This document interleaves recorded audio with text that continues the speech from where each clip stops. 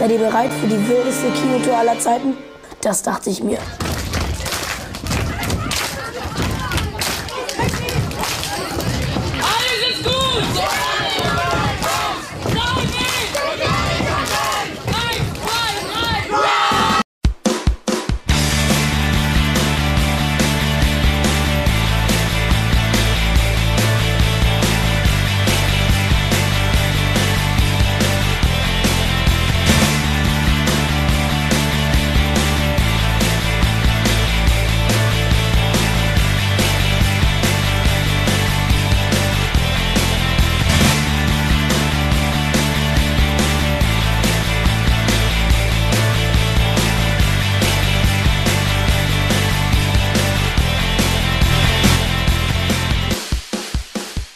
Vielleicht, wir hätten es uns nach dem Sieg in Ragnarök und gegen die Silberlichten bequem gemacht.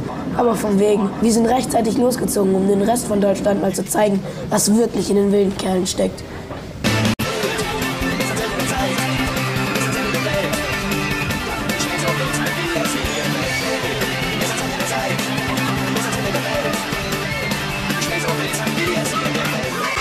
Schneller von einer Stadt zur nächsten zu kommen, mussten wir leider auf unsere geilen Motocross-Maschinen verzichten, um mit dem Flugzeug oder Bus zu reisen. Immerhin standen 18 Städte auf dem Programm und das wollten wir in nur sieben Tagen schaffen. Oh nein, komm, komm. Nein, nein, nein, die können mich nicht hier so alleine lassen. Komm schon.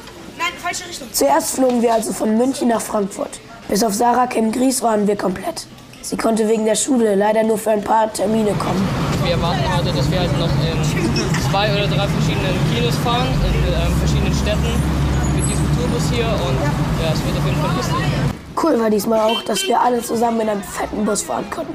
Und wir zeigen euch noch viel mehr von dem und was wir alles drin machen. Also ich wünsche euch noch viel Spaß. Hier, Kevin, dann kümmere dich mal drum. Die Kiste soll nachher leer sein, jeder hat was in seiner Tasche. Ja, Mann, das hau ich alles weg. Das ist verteilt. Wir sind so fiese Fetzige, weißt du? Yeah. Der Bus war echt wild ausgestattet. Wir hatten sogar ein eigenes Abteil für uns wilde Kerle. Für alle anderen Spießer war der Eintritt natürlich streng verboten. Egal wohin wir kamen, der Bus war echt ein Magnet, der Fans anzog. Hier machen wir einfach alles. Und wenn wir dann auf alles keine Bock mehr, dann schauen wir DVD. Und da gibt es drei Fernseher, zwei da vorne und, ein- und der Beste ist natürlich hinten bei uns. Da schauen wir dann unsere Filme. Als Verstärkung haben wir Janina Fouts mitgenommen, die seit dem vierten Teil ja auch zu den wilden Kerlen gehört. Und die Janina ist unsere kleine Klette. Die nervt. Also, was? von der Kinotour im letzten Jahr wussten wir ja schon, was uns erwarten würde. Aber dieses Jahr war alles noch viel krasser. Das erste Kino, das wir besuchten, war in Wiesbaden. Wie sieht's aus? Hat euch der Film gefallen? Sehen die Herrschaften so gut aus wie im Film oder besser? Wie ist euer Gefühl, wenn ihr hier rausgeht und merkt, dass die alle auf euch warten? Also ich finde es total geil. Vor allem werden viele Mädels dabei. Habt ihr Freundinnen schon oder seid ihr noch ein bisschen noch auf Solo-Tour? Also ich habe keine Freunde. Man muss sich noch ein bisschen erstmal auf, die, auf, die, auf den Job konzentrieren, natürlich. Ne? Wer war in der Kussszene beteiligt hier? Ich. Ja. Wer hat denn mit ihm die Kussszene gemacht? Nee, auf gar keinen Fall. Wie war dein Gefühl dabei? Ja, zuerst habe ich gedacht, wenn das meine Eltern sehen, was werden die denken? Wie haben die Eltern reagiert? Haben sie gesagt, ja, war nicht schlecht geküsst, der junge Mann? Oder fühlt man noch ein bisschen? Das hat er vom Vater, meine Mutter gesagt. Seid ihr bereit? Boah! Also was wir wollen natürlich auch euch Gelegenheit geben, so ein bisschen, dass ihr Autogramme bekommen könnt. Shit nochmal. Wir haben uns wirklich die Finger mitgeschrieben. So viele Autogramme müssten wir geben. Wir hoffen, es hat auch jeder von euch eins bekommen. Sehen die uns oder sehen die uns nicht? Mit der Mütze hatte ich gesehen, siehst du? Oft sind die Fans noch hunderte Meter hinterhergelaufen. Oh, guck mal, guck mal, guck mal, die rennen, die rennen und wie die rennen. Ey, die geben hier Vollgas, ihr habt keine Chance mitzukommen. Tut mir leid. Wenig später ging es weiter nach Frankfurt. Also richtig Rock'n'Roll, sich das an. Ach ja, vielen Dank übrigens für die wilden Geschenke, die ihr uns mitgebracht habt. Nochmal nicht, nicht bewerten. Wir mussten uns ganz schön ranhalten, weil wir in jedem Kino mehrere Säle besucht haben. Am selben Tag ging es noch nach Nidau. Das kannte vorher keiner von uns. Aber shit nochmal. Das wird uns bestimmt in wilder Erinnerung bleiben. Nach den Auftritten konnte man im Bus prima Computerspiele zocken. Eine DVD anschauen oder chillen. Ey, ich fange an mit A. Wie heißt das Spiel, das ihr spielt? Nee, an. Gewässer mit Stadtland Fluss. Ach so. Marlon ist rein geografisch gesehen ein absolutes Genie. Das ist erstmal sein Blatt. J. Stimmt, das war das, wie heißt es? Kra- Krat, Krat, Kratrich. Kratrich. Was ist denn das? Kratrich. Äh, Z. Zich. Zichruzus. Ja. Zichruzus, gibt's das? Und dann auf einmal Achabrach. Achabra, bei ihr. Achabra. Da ist statt bei U. Unf. Und Unf. Und dann ist Fluss auf die Unf. Bei einem Legoland.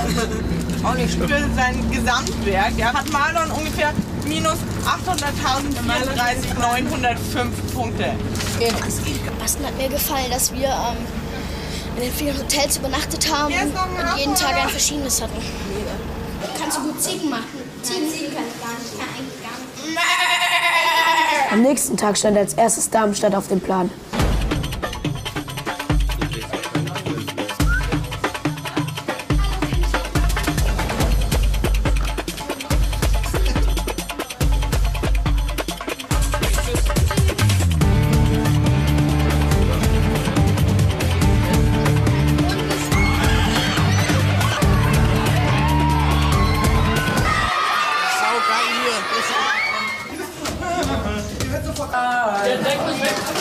Weiter ging es nach Dettelbach. Wäre es möglich, den im Dettelbach auf der Bühne zu überreichen?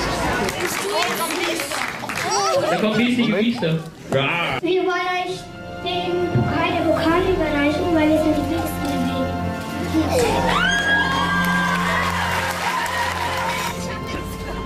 Plötzlich fiel Janina auf, dass wir den Regisseur Joachim vergessen haben. Ja, also entweder ist er auf dem Klo oder es ist Absicht, dass er nicht da ist oder wir haben ihn vergessen. Hey, wir Oh, haben wir. Ja. Gerade um. Wird schon zurechtkommen. Aber er hat brav gewartet, bis wir ihn wieder aufgegabelt haben. Ich hab's bemerkt, Saskia. Nur aus dem einzigen Grund, weil ich Joachim vermisst habe, sondern weil ich mit seinem Handy spielen wollte. Am Montag starteten wir in Ansbach voll durch. Hey, ist Sackgasse. Wir wären gerne auch noch ein bisschen länger geblieben, mussten aber gleich weiter nach Neu-Ulm. Ja, wenn man, also wenn ich mich jetzt umdrehe und winke, winken mir tausende von Fans. Das ist schon witzig. Das sieht so cool aus. Alles sind cool. Ja, alles sind cool. Wir müssen ganz leise sein, weil gehen wir jetzt gleich rein. Es macht echt immer einen Riesenspaß, seine Fans zu treffen und mit ihnen zusammen ein bisschen durchzudrehen.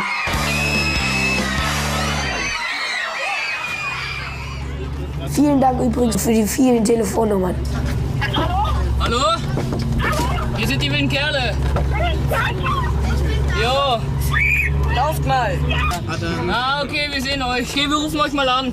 Leider können wir nicht jeden von euch zurückrufen, sonst werden unsere Telefonrechnungen so hoch, dass wir dauernd pleite werden. Am Abend fuhren wir dann zurück nach Erding bei München.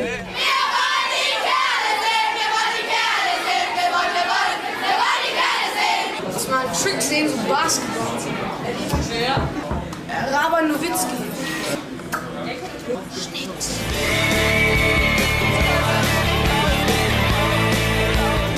Geil. Wurde total geil. Halt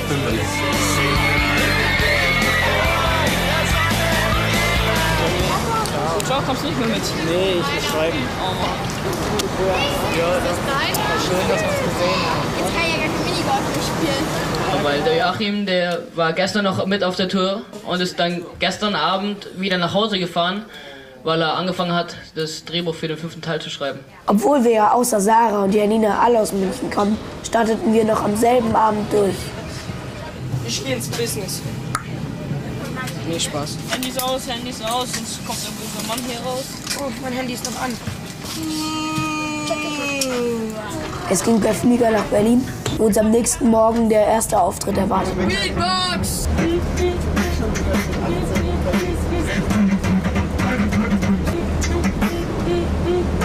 Während der Tour haben wir auch bei den Fernsehsendern Nick und Viva vorbeigeschaut. Die von MTV und Viva haben so ein Boot, das wir natürlich erstmal geerntet haben. Ja, hau. Und der Bäumefahrer sauft und der Teufel besorgt den Rest. Ja, hau, ja, hau. Rum, rum, rum. Ich bin der fliegende Holländer. Ganz schön zappelig. Jimmy, bitte. Mal süß. Bei der Show von Nick haben wir der Moderatorin mal gezeigt, dass Wildsein kein Kinderkram ist und sie ordentlich mit Schokoküssen bombardiert. Ja, dass das Zeug nicht in den Kopf passt. Wir machen Wie ihr sehen könnt, haben wir nicht nur in den Kinos viel Spaß. Ihr könnt es uns anschreien, wir können euch nicht hören, aber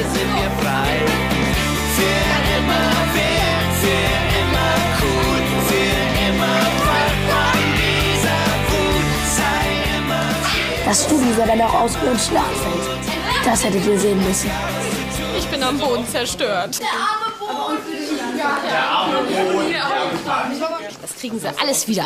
Wir sind äh, ganz viele Leute da. Äh, Meine Freunde, meine Brüder, meine Mama, meine Papa. Alle sind da. In echt sind sie nicht mal halb so spießig wie im Film. Und deshalb waren ausnahmsweise auch mal die Eltern bei den wilden Kerlen erlaubt. Kommst du mit runter?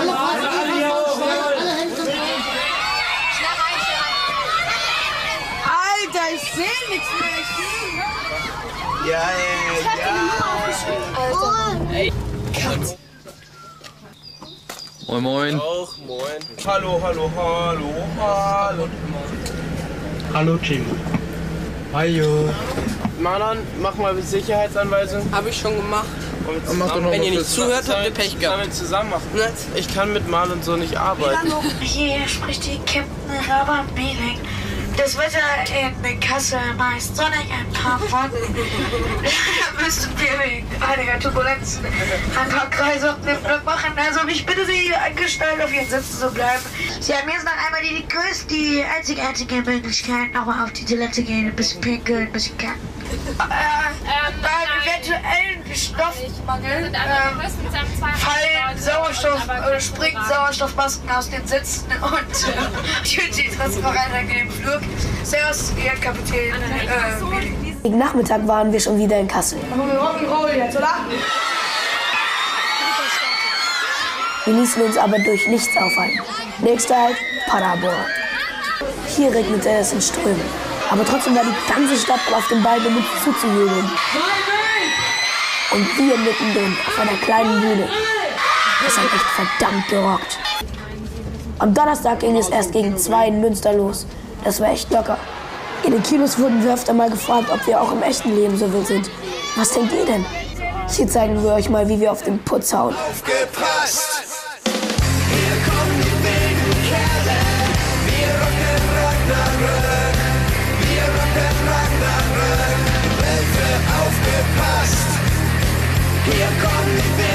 Wir rocken Ragnarök. Wir rocken Ragnarök. Wir fahren jetzt gleich nach Dienstlaken. Kennt ihr übrigens Dienstlaken? Auch da waren wir. Tja, wir versuchen einfach in jeden Winkel Deutschlands mal zu kommen. Oh ja, Mann. Oh ja. Ich hoffe, da sind wir Mädels in meinem Alter.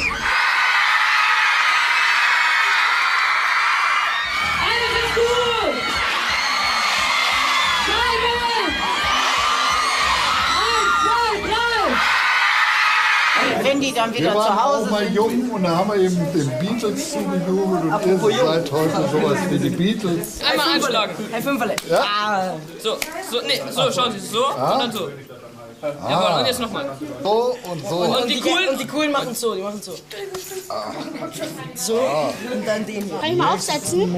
So Ist ja unbequem. Ja, sicher ist das Vor allem, sie sitzt gar nicht richtig. Nein, das ist ja auch ein bisschen zu groß für dich. Wir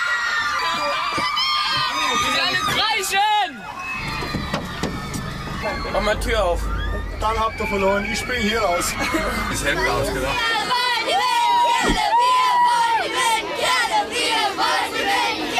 Am vorletzten Tag unserer Tour stand zuerst Bochum auf dem Programm. Beste wilde Kerle Kinotour aller Zeiten. Was soll ich dazu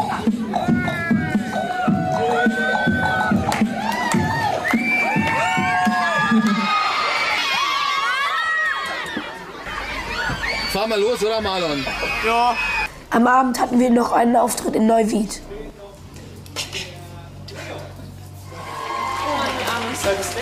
ich wollte mir heute die Haare machen, ja, aber da hatte ich keine Zeit. Sag mal, Jimmy.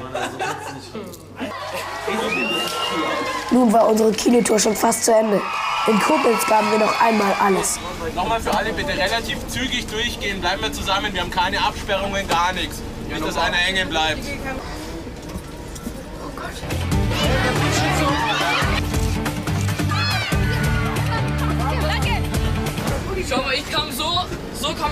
Und so kam ich raus. Der letzte Vorhang fiel diesmal in Bad Kreuznach.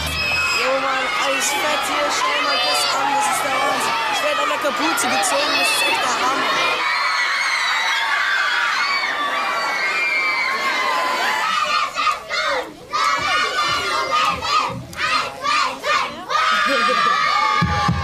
Hatten wir bis jetzt noch keinem Kino.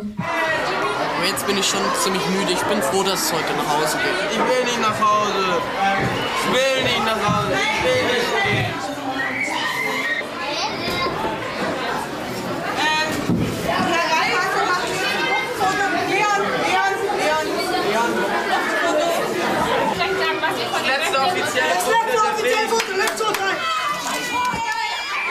Schade. Ich könnte es noch fünf Wochen länger machen. Ganz ehrlich. Mann, das war mit Abstand die wildeste Kinotour aller Zeiten.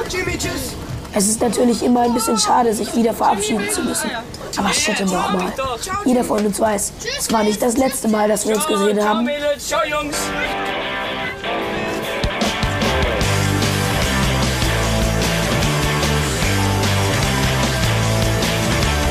Schöne Abend ist der Anfang danach.